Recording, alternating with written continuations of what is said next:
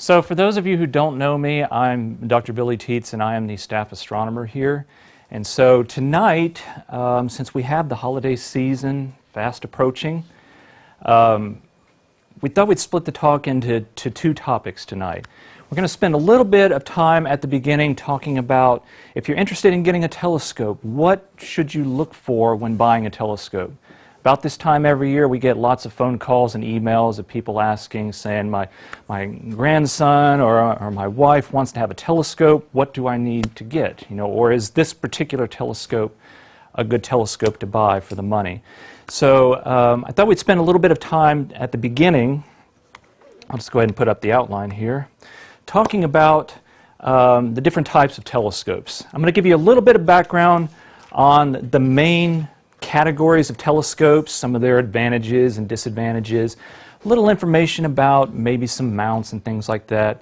Um, but ultimately, I'm going to try to kind of guide you as to what we would recommend for a telescope.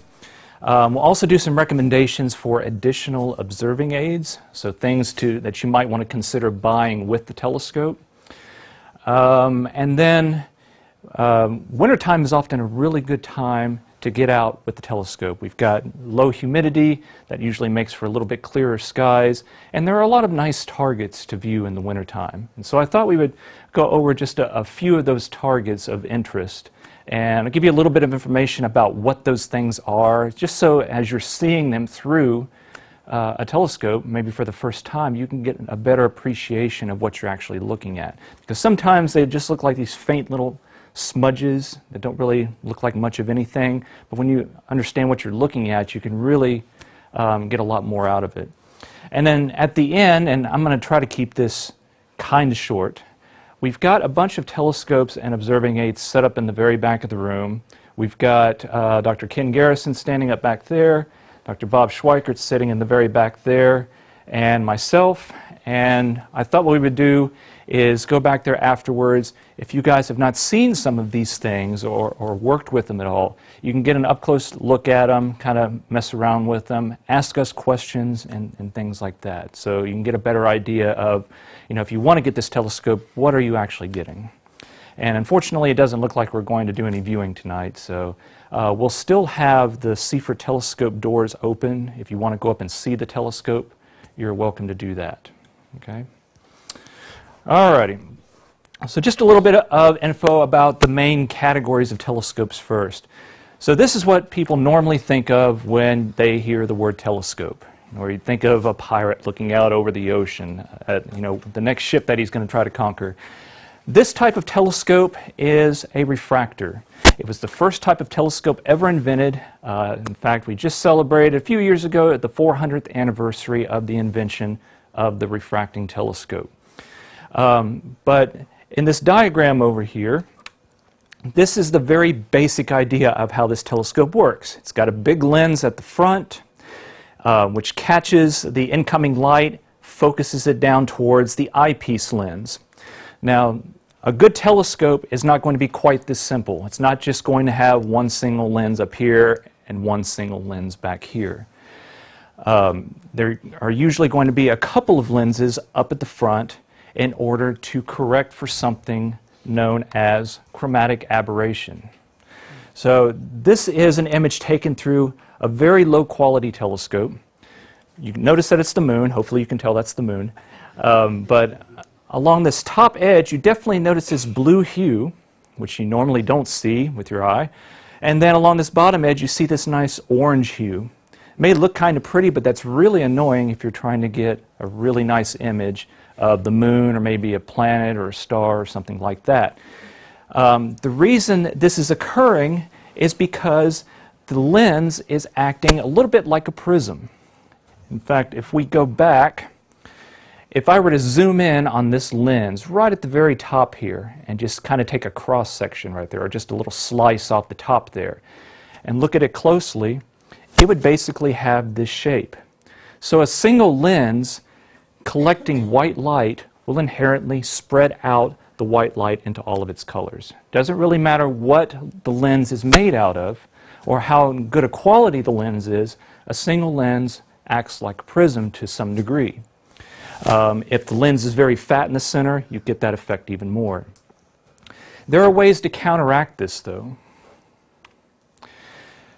So if we were to put a second lens up here with a little bit different curvature right behind this first lens, and also make that lens out of a different type of glass, then it's possible that as this light comes in and is focused but is also spread into all of its colors, that second lens will catch all of those colors, continue focusing the light, but also refocus all of the colors back to white light. Okay? That type of refractor is known as an apochromatic refractor. Or you may hear of an achromat refractor. An achromat is better than this, but it's not the best. Apochromatic is basically a really, really good achromat refractor. There's a problem though. In order to see faint objects, you want to have a big lens. You want to be able to catch as much light as you can to make those faint objects bright. So that means you're not only going to have to grind this side of this lens, you also are going to have to grind this side of this lens, as well as the two sides of that second lens. That's going to add up in cost. If you want to get a really high-end refractor that you really cannot tell any color distortion in, you may spend upwards of about $10,000 just for the telescope. And that's not a humongous telescope. I'm talking about one that has a, an opening at the front about like that. All right? Now, those, they're really great telescopes. If you've ever had or ever get the opportunity to look through one of those telescopes, say at the moon or at a planet, the views are phenomenal. Okay? So um, astronomers, amateur astronomers especially that are really into uh, photography or getting these really gorgeous views, they will shell out the cash for that. Okay, but it's worth it if you want to get that really, really nice, beautiful image with that type of telescope. Okay, so keep that in mind. So the next major type are the reflecting telescopes. Now, when we're talking about the telescope, we're not including the eyepiece. In order to look through any telescope, you're going to have to have an eyepiece. Otherwise, your eye is not going to be able to form an image correctly. Now, in a reflecting telescope, and again, we are not, are not including the eyepiece, you have at least one mirror in here which is responsible for the image formation.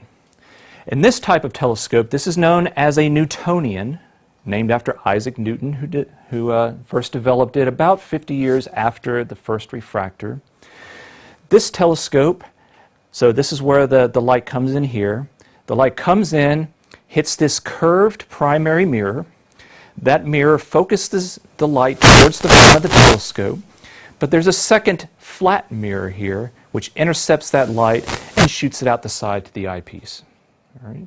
You could actually put an eyepiece where that secondary mirror is and get an image, but your head would be blocking out a lot of the light. Okay, so it's better just to shoot the light out the side so that you're not obstructing the view. The nice thing about a reflector is that a mirror will not suffer from chromatic aberration. When you look in the bathroom mirror in the morning, you don't see color rings around your, your face unless you had a, a hard night the night before. so this primary mirror, you've only got to you only have to grind one side of it. Um, that's easy enough. This flat mirror, a flat mirror is easy to make, so you don't have to put in a lot of money into the manufacturing of this telescope. Okay. Um, now this particular model over here, this is a Newtonian telescope on what's known as a Dobsonian base. And we're going to talk more about those in just a moment. Okay. But the main idea is that you have mirrors here which are forming the image instead of lenses. The third main category of telescopes are the catadioptrics. They are the hybrids. They are not only a reflector, uh, so and here's a cross section of one of these telescopes. We've got the primary mirror here, a secondary mirror here, but the catadioptric means that it also uses lenses. This one has a correcting plate on the front of it. This particular style of telescope is known as a Schmidt Cassegrain. Okay? The Schmidt part comes from the fact that it has this plate here. The Cassegrain is this optical design. The big telescope upstairs, when you go up tonight, you probably will get to look down the tube. It is a Cassegrain. Okay, it has a big mirror in the back. Again, we've taken a slice through this telescope here. Has a big mirror in the back, has a smaller secondary mirror towards the front, but this one, instead of shooting the light out the side, it reflects the light back down the tube and sends it through the hole in the main mirror. Okay? So now the eyepiece is at the back. One advantage of this style of telescope is that it can have a very long focal length. So it, its mirrors would essentially focus light um, uh, basically the same way that the mirrors in this telescope are, are focusing. They would focus it over a very long distance. But with this one's curved secondary, it allows you, and the fact that it's reflecting the light back down the tube yet again, it allows the telescope to be very short and compact for its size. So it can be very wide, it can have a very wide aperture, but it doesn't have to be incredibly long. Okay? So these are really handy for things like photography and whatnot. But with this correcting plate and this curved mirror here, they can be kind of pricey as well. But if you want to do photography, then they're well worth the money. Okay? But the main thing to look for in a telescope is aperture. You go to a department store, you find one of those little telescopes, and it'll say magnifies 500, 500 times. Now that's really impressive, but 500 times, we hardly ever put the big telescope at that high of a magnification. We could put it well past that, and you wouldn't be able to see anything in the telescope. It would be so blurry. But the thing that you want to look for is aperture. You, want, you don't want to care about how long the telescope is, you want to care about how much light can enter it. The more light that enters it, the brighter your objects are going to be. Okay? The other thing is the aperture also determines resolution. So let's say you're looking at a double star, which is two stars in orbit around one another. Uh, one of the fun things to do when you first get a telescope is to look at a star map, figure out which stars in the sky you can see are double stars, point your telescope at them, and see if you can actually see the two stars. Some of these doubles are called tight doubles because they're very, very close together. A little telescope, even though the stars would be, would be bright, you would see them as one blob because the telescope does not have very good resolution. It may have perfect optics, but the aperture is not large enough to allow you to see the finer detail. Bigger telescopes would allow you to see the two stars. Okay? So for telescopes, bigger is definitely better. All right?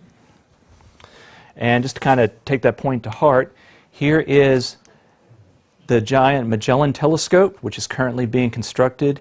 It will have seven mirrors that when put together will act like one enormous mirror. Here is, so see that central mirror there? There's that central mirror with some of the engineers behind it. Okay? So even that one single mirror would gather an enormous amount of light, would have a great resolution. But when you incorporate all of the other mirrors as well, you increase your brightness of your objects, you increase your resolution even more. Okay?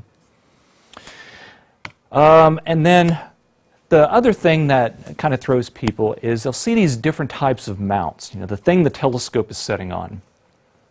The first telescope that I showed you, this little refractor, this is on something called an equatorial mount.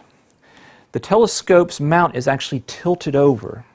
When you go upstairs and see the big telescope, it works on the same principle. Its mount is tilted over as well. But this telescope here this is on what's known as an alt-azimuth mount. It's a very simple mount. It basically allows the telescope to move up and down, left and right. Okay? Those are the two main types of mounts. Let me get back here. Oop, wrong one. There we are. Nope, there we are. So the equatorial mount, this is the more complicated mount. Um, it's very, um, very suited for astrophotography. It allows a telescope that is motorized to track the sky very well, which is important if you're trying to do a long exposure picture. Problem is, it's difficult to align if you don't know what you're doing, especially if you're getting a telescope for a newbie. They're not going to have um, the, the background or the experience to understand um, how this needs to be aligned. It really takes a lot of experience to get things really well aligned. Okay? Even after you read the book and you understand the concept behind it, it just really takes experience. Okay? Also, if you do happen just to use this telescope to observe through, this type of mount, it, from my personal experience, if I'm trying to move it to look at something else, it's kind of tricky to get it to move the way you want because it doesn't just move up, down, left, and right. It moves at angles. So it's a little trickier. It's not impossible, but it's just, it can be a little time consuming to get uh, used to it. But the alt azimuth mount, it's very simple. You don't have to align it. You set it down. It moves up, down, left, and right. Okay. So just for naked eye or for a telescopic observation, just looking through the telescope, this is really the kind of mount we try to recommend. So if we incorporate all of these different aspects, this is the type of telescope that we recommend to everybody.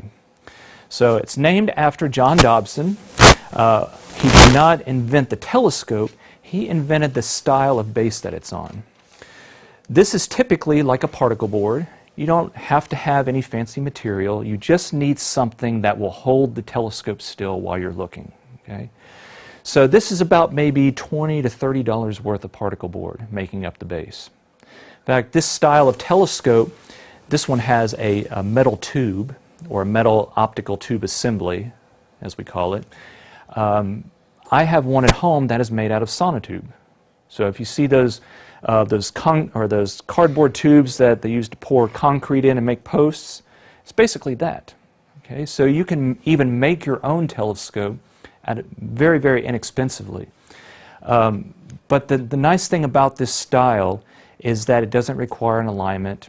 You can actually take this telescope off of its base if you need to transport it somewhere. Makes it much easier to carry. Um, it doesn't have any, um, or this particular model here does not have any uh, motors or electronics. So basically, the vast majority of your money is going into the optics. So you can put all of your money into getting a really large mirror.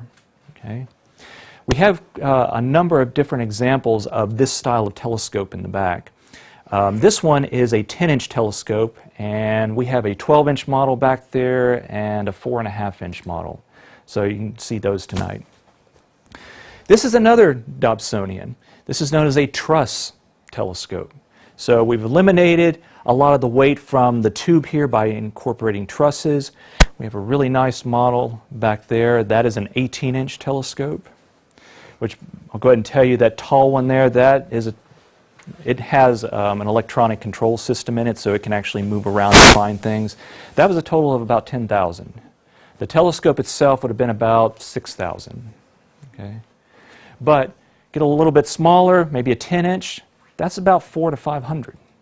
Okay? A 10 inch telescope is an awesome telescope. You will see an incredible, incredible amount of stuff uh, with that size telescope. The other nice thing is these telescopes have, they're known as very fast telescopes. Or in other words, they focus the light to a point quickly. That gives them a very wide field of view, which you may think, well, that's going to make everything look pretty small when I look at it through the telescope. That's actually good because it makes these faint fuzzy objects small, but it concentrates their light to make them much brighter. Okay? Uh, when we're looking at things like the Orion Nebula upstairs in the big telescope, we try to get as low of a magnification as possible, and everybody loves those low magnification views the best. Okay? So magnification is not where it's at. Okay? So these telescopes are really good for those that get what's known as aperture fever, where you, you get a 10 inch telescope, then you want a 12 inch, then you want a 16 inch. Like this guy here, um, this is a 42 inch. I think this is the largest one that, um, that is known. So when the telescope is pointed straight up, the eyepiece is 15 feet up. These are nine foot ceilings in here. So it does require a large ladder. The whole thing weighs right at 800 pounds. Um, this is the guy that, that owns it here. So whenever he transports it, he has a big trailer and he has to disassemble it.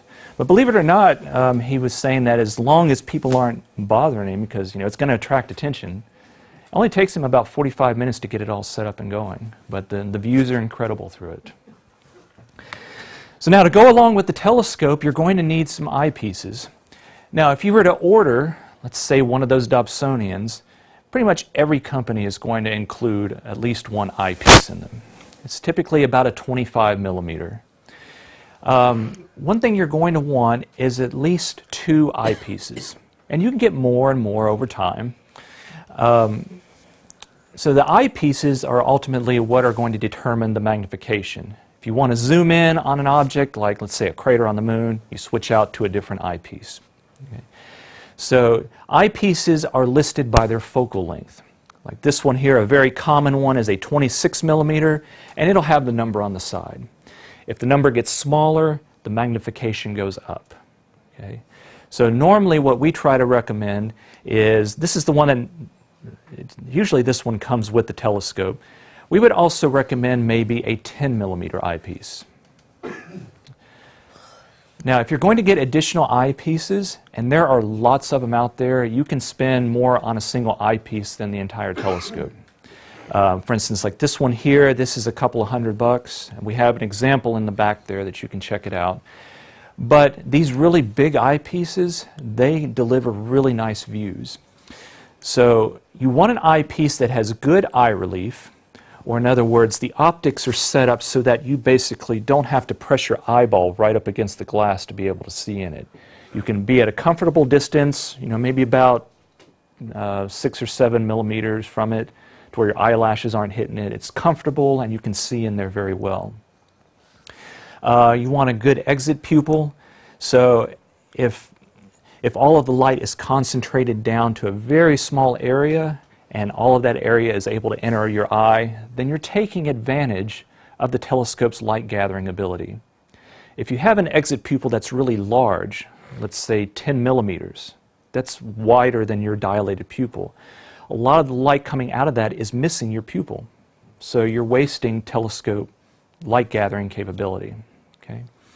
And then finally, field of view is um, also kind of important.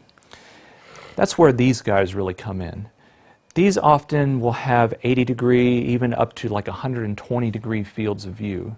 Or in other words, when I go to look into one of these eyepieces, I get my eye right up to it, and I physically have to move my head around to see everything in the field of view. I mean, it's like you're looking through a little window and you've got to kind of move to see everything. So the fields of view are, are really, really nice. Okay. Um, just a little bit on magnification. Um, so if you want to determine your magnification, that is the focal length of your telescope, uh, which is usually written somewhere on the telescope, divided by the focal length of your eyepiece. Okay, simple as that. Um, you always want to start out with your lowest magnification, let's say a 25 millimeter eyepiece when you're searching for something, and then switch to a higher magnification once you've found your object. Otherwise, it makes it very, very difficult to find what you're looking for. Okay? Um, and like we've said before, higher magnification is not always better. Um, if you bump up the magnification, especially like past 300 or 400 power, especially for fainter objects, you're hardly going to see anything in there. Only thing that I personally ever do a high magnification on is maybe the moon, because it's nice and bright and it's got some very um, um, especially if you're like at a first quarter moon, you can see a lot of contrast. So higher magnification actually works out pretty well then, but there's still a limit to it. If you go really high, then everything becomes blurry, no matter how good your telescope is. Um, I would also recommend a Barlow lens. So you already have your one eyepiece from your telescope. Maybe get your 10 millimeter your Barlow, it slips on to the end of your existing eyepieces and it multiplies your magnification. So this particular one is a 2x Barlow. So let's say this was, this eyepiece here gave me a magnification of 50. If I then put this on the end of it and stick the whole thing in the telescope, I now have a magnification of 100. So if I had three eyepieces, let's say a 25, a 10, and a 5. If I got one of these Barlows, I would now effectively have six eyepieces, okay? Because I could put the, the Barlow on each of those individual eyepieces and get a different magnification. Moon filters, these are very cheap. Um, anywhere from maybe 10 to 15 bucks. Um, there are filter, these are filters that just screw onto the end and they just dim down uh, uh, the light of the moon. So they're really useful when the moon's getting towards full because when you look in there, it's like looking into a little spotlight. It's not going to damage your eyes, but it, it's not as comfortable as if the moon is, is dimmed a little bit. We have an example back there of a variable moon filter. It's basically two polarized lenses, and they mount on top of one another, and if you just rotate one, it'll change how much light it lets through. So if you've got a full moon, then you know you can really tone down the moon a lot, but if you've got, let's say, a first quarter moon and you want to dim it just a little bit, then you just turn the filter just a tiny bit. Okay? So they're pretty versatile. Just don't ever use those for the sun. That's a totally different filter and, and setup altogether. Um, binocular astronomy is also uh, really, really good. So there are a lot of things like, uh, for instance, the Pleiades star cluster, the Milky Way, things that if you look at them with the telescope, you can only see a tiny bit of at one time. And if you look at them with binoculars, you see the entire thing, and it gives you a much better view.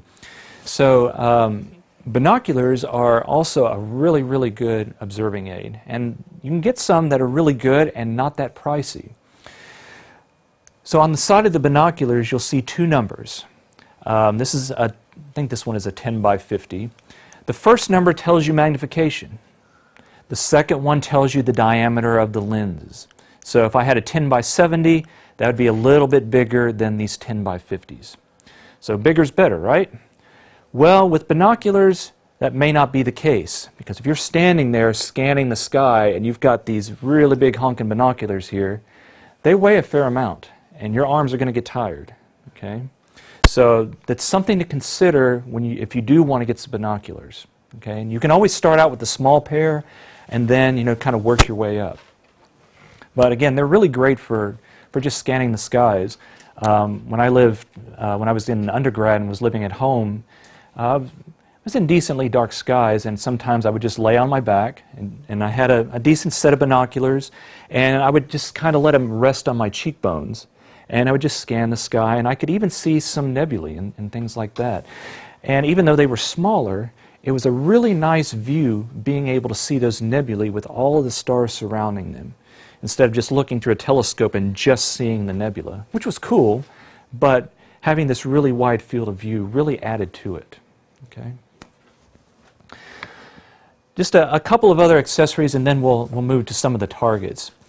Um, I would definitely recommend a red flashlight. You can get just a white flashlight and put some red cellophane on it, but you really need these at night if you're using star maps. Um, if you're looking through it, if your eyes are dark adapted, if they're used to the dark and you're looking at these faint fuzzy objects, you're using the rods in your eyes. Okay, they're very good in low light levels. They don't see color, but they're good when you're in very, very low light levels. If you turn on a white light, then you all of a sudden zap those rods and you can't see anything for a while.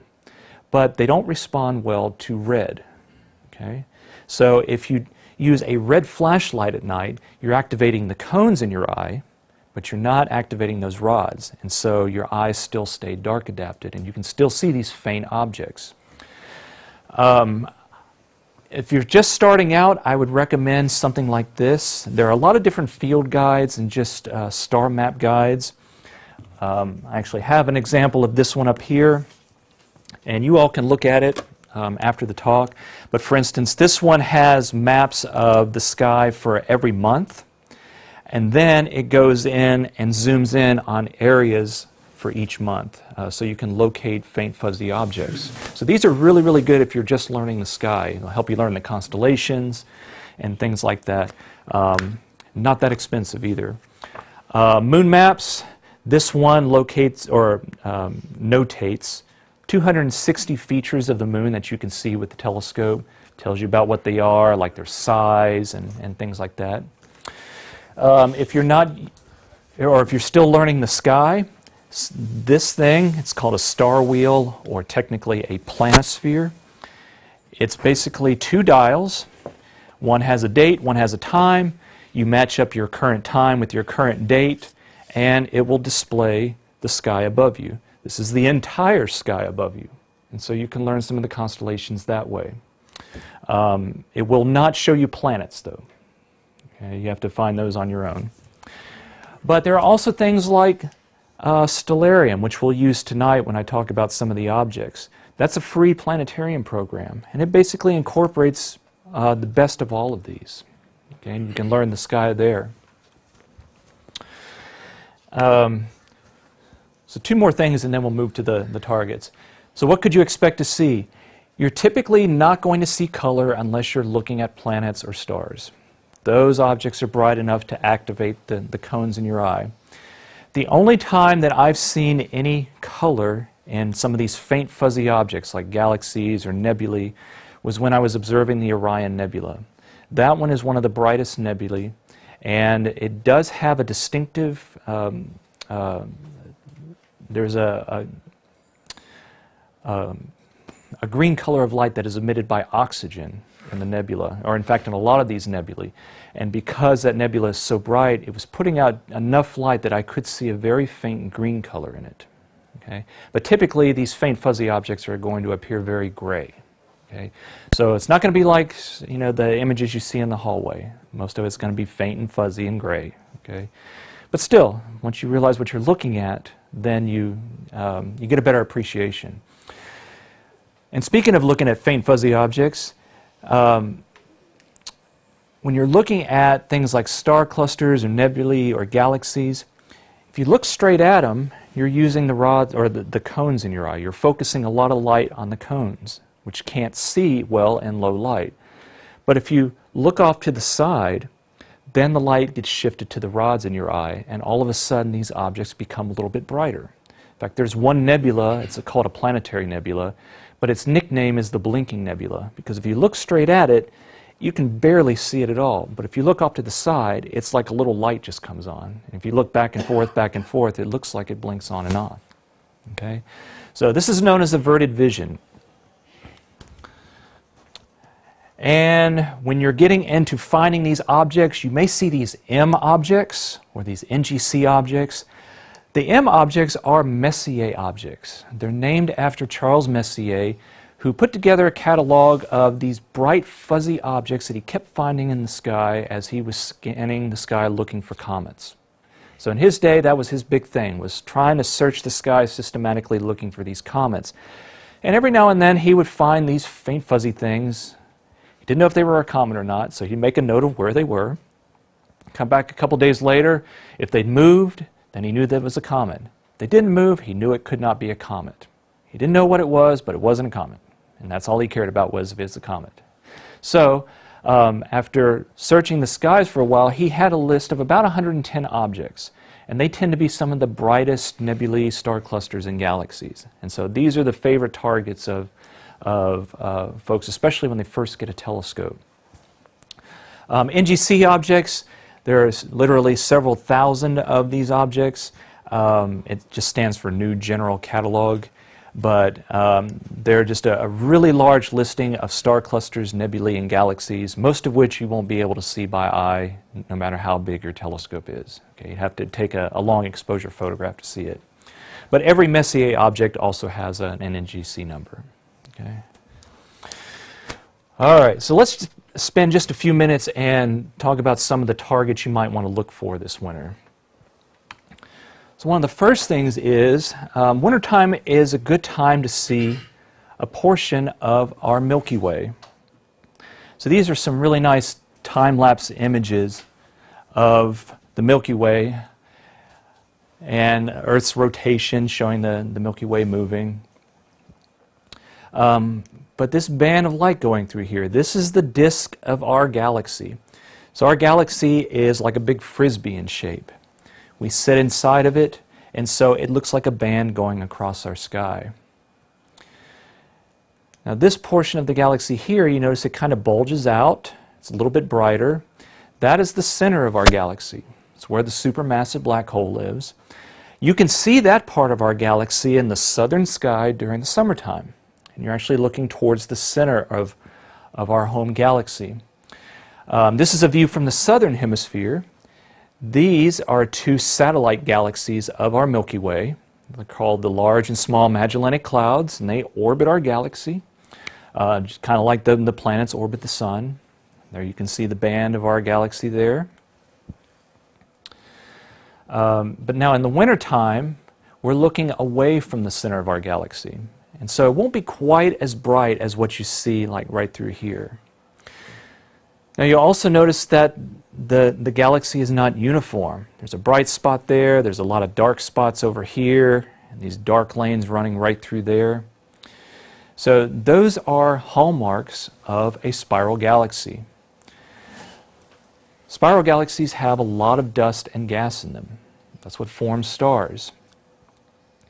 Um, and so as we, if we're if there are big pockets of dust between us and some of the background stars, that dust is really effective at blocking out that starlight.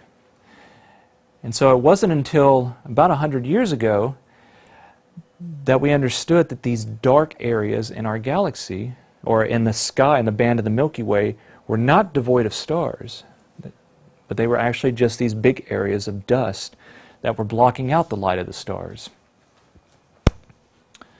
Yeah, so here is, yeah, there's Orion rising there. Our Milky Way runs right down next to Orion. Okay? You'll notice that that part of the galaxy is not quite as bright as um, the summertime part, because again, we're looking away from the center. Okay? We're looking towards the outer edge of our galaxy, and there's less stars um, when we look that way. But if we could fly up out of our galaxy and look back, this is an artist's concept of what we would probably see. So our galaxy has several prominent spiral arms. We set, so there's a center, we set about this far out in one of those arms. Um, this is Messier 109, or M109. It's a nice galaxy that you could see with the telescope. And it's a really good analog of what we think our galaxy would look like if we could fly up out of our Milky Way. Uh, let's see, but again, we're sitting in it, so from the side, it looks like this band going across. And again, this is where all the dust is. If we look at our galaxy in infrared light, which is really good at penetrating that dust, we can see the glow of all the stars. And so this is an infrared view of our galaxy. It's lined up with this image. And so you can see in this area here, which looks like it's lacking stars, there are in fact a lot of stars there. It's just all that dust is blocking it out. Now I'm going to, let's see here, I'm going to switch over to Stellarium. Oh, come on now. I don't know why it wants to do that. Hold on, let me exit out of this.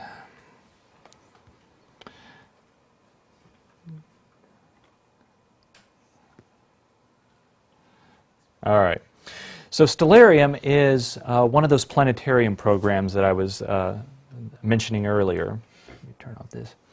So it's set for Nashville, and right now it's simulating the sky uh, for our current date and time. So we have the moon rising there over in the east, but we can fast forward and go to January. All right, so that's about the 5th of January at close to 7 o'clock. I'm going to move it forward a couple of hours here. Okay. And I'm going to zoom in just a little bit here. All right, so this is about 9.30 on January 5th. Orion, so if you aren't familiar with your constellations, this will show you the constellations. It will even show you what they're supposed to be.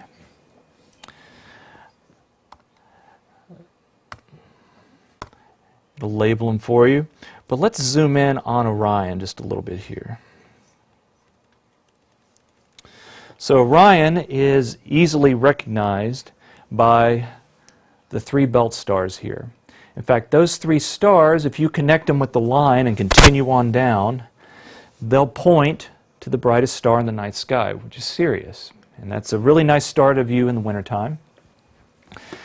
But if you get your telescope and you look at the sword of Orion or the dagger of Orion, so this is his belt, the dagger is hanging off of his belt. Look at that central star there. Let me zoom in there. And it's a nebula. So that is the Orion Nebula, or Messier 42. And let me switch back over right quick here. Oop, not what I wanted.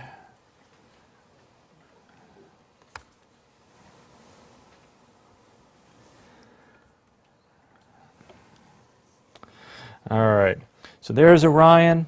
This is a really, really nice deep image, or in other words, it's a very long exposure image. So here's the two shoulder stars, the belt, the dagger, the, the two legs there. I'm going to zoom in on this right quick, turn it on its side. This arc of gas is known as Barnard's Loop. So if you saw the front display case out there, there's a little section about Edward Emerson Barnard. He's the one who discovered this, uh, this big arc of gas. He was an astronomer here at Vanderbilt and, and Nashville. Here's our Orion Nebula, and here's the star Rigel. So we're going to focus on those two things right quick. This is a nice mosaic from the um, Hubble Space Telescope. Um, this is a, a, really large image, actually, um, actually bigger than the full moon. But this part of the nebula is M42, or what everybody refers to as the Orion Nebula. This little area up here is called de Mairan's Nebula, or M43. Okay, they're really part of the same complex, but when you look at them through a telescope, you really see this area here, and you see a little bit of this. But if you do a very low magnification, you can actually see some of this nice bowl structure of this nebula. If we zoom in on the center of that, this is really, this is about what you would see, uh, maybe a little bit brighter, but uh, this is about what you would see in a good um, large telescope on a dark night. The four stars down here are called the trapezium. And especially that star right there, that's what's responsible for lighting up this nebula. Okay? There are about 2,000 stars that have formed out of this, this big cloud. Okay? Um, and those stars in the center are very, very massive, and they're putting out a lot of light and, um, and, and particles called solar wind. And that's actually blowing away a lot of this gas and creating that bowl shape. Um, this is also uh, where we first found evidence of things called proplyds, or protoplanetary disks. So here are the four trapezium stars right there. This is a, an, another Hubble view. But what we've done here, we've zoomed in on little objects that you see silhouetted against the background gas.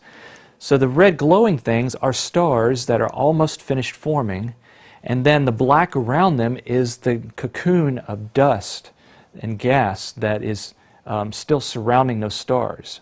That's what those stars formed out of, and this could be uh, later on formed into planets around these stars. So these are basically baby solar systems being formed right now. Now we mentioned Rigel, that one star. That's a fun target to check out because it's a double star. So what you see in the night sky is this big bright guy right here. It's actually a very massive star. But if you look at it through a telescope under decent magnification, you'll see it's got a little companion. Okay? So it's just one of the fun double stars to try, to try out there. All right. Some of the other fun things are open clusters. So these are very young groups of stars. Uh, some of the youngest are only about a million years old, which seems very old, but for stars, that's very young. The oldest are maybe a couple of billion years old. Uh, but these are groups of stars, maybe a few thousand at most, that's, that formed out of the same cloud at the same time in the same part of the universe. Um, because they're young, they still have their very massive blue stars. So very massive stars live the, the shortest period of time. And so if you see a cluster that has these really massive stars, you know it has to be young. Okay? But these clusters will gradually spread apart over time. In fact, that's where we get the term open. It just means that they're not gravitationally bound. So let me switch over here. We're going to zoom out of Orion. So again, right here is Orion. We're going to move over to Taurus, which is right next to Orion. And there are a couple of really good examples of um, open clusters in Taurus. Okay, so there's the bull. So marking the shoulder of the bull and the head of the bull are the clusters, the Pleiades and the Hyades. So this nice V of stars you can see very well. It's a very good binocular object. And then the Pleiades cluster is another really good binocular object. Let me uh, give you a little bit of a view of that. So here's a really nice long exposure of the Pleiades cluster. Now, if you look at this with a telescope, you may, at lowest magnification, only be able to see about this much of the cluster. So it really helps to have binoculars. Um, here's a nice wide field view with Venus below it. That's about how you see it in the, in the night sky there. Now, the cloud that you see here was once thought to be the cloud that these stars formed out of. But we now know that those stars are actually just moving through that cloud. It's a lot of dust. Dust preferentially scatters blue light. So if you look at a true color image of something in space and you see this cloud and it looks blue, it means it's got a lot of dust in it. Um, now, if we zoom out and let's see here. So I'm going to zoom out one more time, turn my constellations back on. I'm going to scoot over one more constellation to Perseus. Okay, zoom in just a bit here. Now, in the, under decently dark conditions, you can see this line of stars here. Okay, often, a lot of people say this kind of looks like an umbrella shape.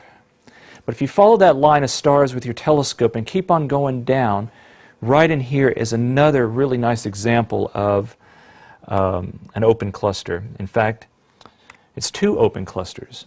It's called the double cluster. You can fit both of these in your field of view, and they look like two little piles of glitter. I mean, it's a really beautiful uh, um, pair of clusters. Uh, let's see here. Planetary nebulae. These are a little bit harder to find, but every one of them is unique. These are the end result of a small star's life. So our sun will do something like this in about 5 billion years or so. But the core of the, of the star collapses down because it's run out of fuel. It forms something called a white dwarf. The outer layers of the star are expelled out into space gradually. Okay? These only last for about 10,000 years or so, and then you can't really see them anymore. But um, it's actually a bad name because they have nothing to do with planets. Okay, it's just some of the fainter ones, more distant ones, tend to look round and faint, just like the outer planets. Okay. So here is a really nice example of one in Gemini. Now, this is a really nice Hubble image. Uh, when I look at this through a telescope, I see something more like that. I mean, you can, you'll see this star situated right next to it, but this nebula you can tell is definitely much larger than the star. Okay. And let's see. give you one more example. So here's the Cat's Eye Nebula in Draco. This is a close-up view of Hubble, from Hubble. And then this is more or less what you would see in the telescope. Obviously not quite that large, but you'll be able to see the glowing shells of gas. This is the only one where I have seen the core of that star, that white dwarf. That's that little white spot there. Um, on a good clear night, you'll see this fuzziness, and then it looks like a little beacon right in the very center. First time I'd ever seen that um, in, a, in a planetary nebula. Um, now, just for the sake of time, let me go through just a couple more here. Uh, globular clusters. These are very compact clusters of a few tens of thousands of stars to maybe over a million stars. Right. There's about 150 of them that we know orbit our galaxy. They're very old. In fact, uh, this one right here which you can see in Pegasus, and I'll show you where that is in just a moment, that is about 12 billion years old. Okay. Right, let me switch over. So if we zoom out, oh, let's see here. Yeah, you'll have to catch this earlier on um, in the wintertime. But if you follow, so here's Pegasus, body of Pegasus, legs come off there. Here's the neck, there's the eye, there's the nose. Come off right in there, and you'll find that little cluster. Okay.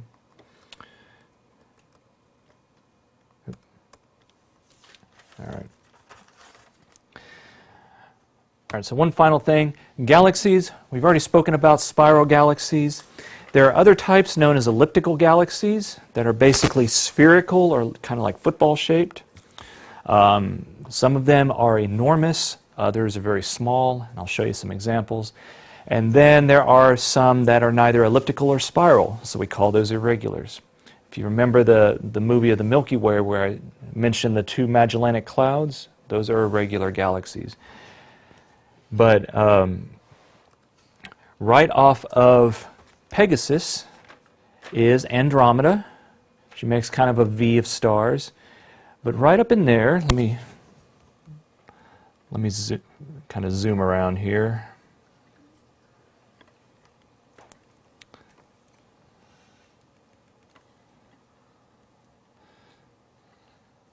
All right, so we come off right here. There's a really nice galaxy called the Andromeda Galaxy. Okay. That's a pretty good image. Let me show you one more. Uh, this is a really nice long exposure image. So this is the main Andromeda Galaxy.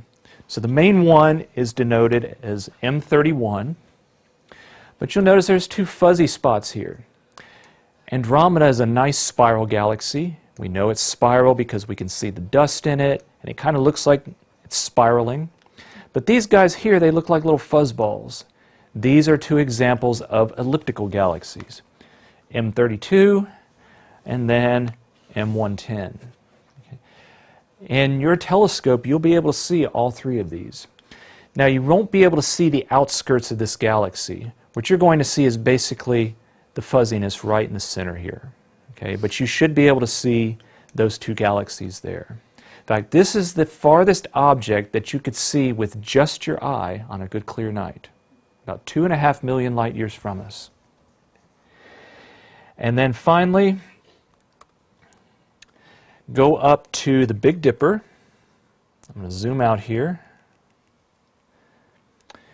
Uh, let's see here. Where is our Big Dipper? Okay. I'm going to look in the northern sky here. I'm going to go forward just a little bit in time, get the Big Dipper up. All right, so there's our Big Dipper. I'm going to zoom in on it just a little bit. So the Big Dipper is pretty easy to find. Okay, you got your bowl there. Go on up again. There are two more stars here. And then just hang a, a left and find that star. That one's actually visible to the unaided eye. If you get your telescope pointed at that star,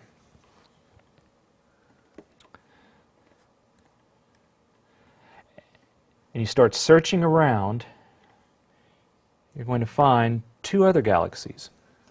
And you can get both of these in the field of view at the same time if you've got low magnification. So this is M81 and M82. This one has a very elongated shape. It's often called the cigar galaxy. This is called Bode's galaxy. But with the two of them in the same field of view, you can really see the differences in their shapes. Okay? A really nice pair. And the other cool thing is, so here's a, a nice uh, telescopic view. They look like they're really far away from one another, but in fact they're interacting. This is a radio view. So this is showing we're very, very cold gas. We're talking almost absolute zero gas is, is located. So this is Bode's Galaxy M81. Here's M82 over here. You can see how the streams of gas are connecting these galaxies. So even though they look far apart, by looking at other types of light, we can tell uh, a little bit more about what's going on.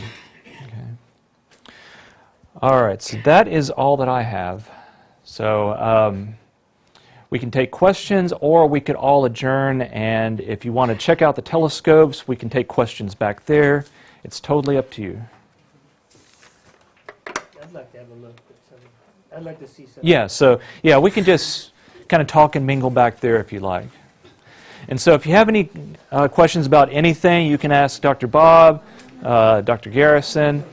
Um, I think Alex is left, but okay.